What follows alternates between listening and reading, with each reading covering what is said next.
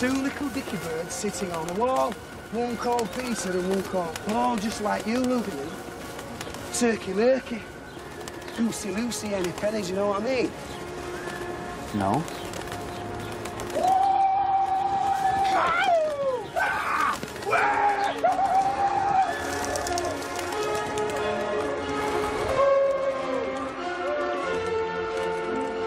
The history of popular music is like a double helix, okay? That's two waves that intertwine.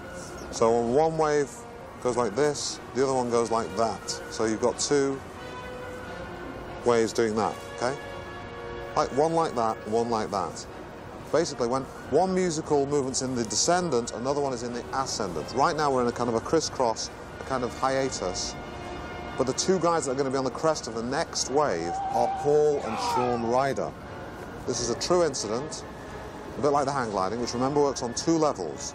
This takes place in 1980 when Shaun and Paul put rat poison into some bread and fed it to 3,000 pigeons.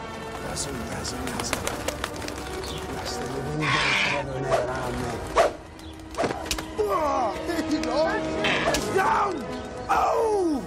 Oh!